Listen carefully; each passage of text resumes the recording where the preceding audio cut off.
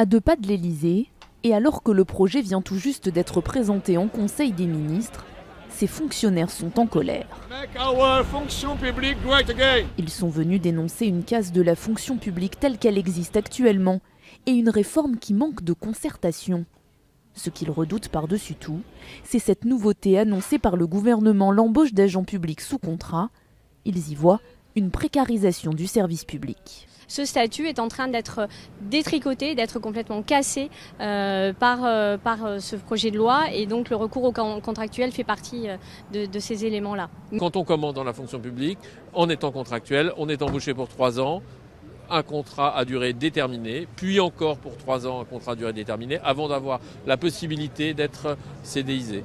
C'est un projet de loi qui affaiblit la fonction publique. Les syndicats ont d'ailleurs appelé à une journée de grève unitaire le 9 mai prochain. Une transformation de fond en comble de la fonction publique pour la rendre plus attractive selon le gouvernement.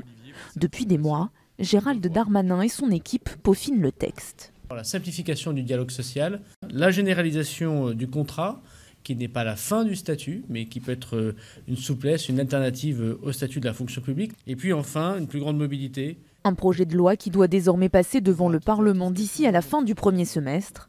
Il pourrait donner lieu à une dizaine d'ordonnances.